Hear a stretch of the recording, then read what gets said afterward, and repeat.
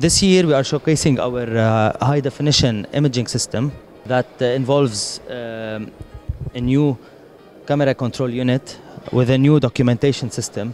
And with it we can integrate the navigation system as well. As you can see we have also our navigation system this is used in cases for rhinology and cases for otology in specific. And now we are we are unique in using this navigation system in otological cases. Other equipment we have also uh, equipment for uh, outpatient clinics uh, concerning uh, also all the disciplines rhinology otology and laryngology.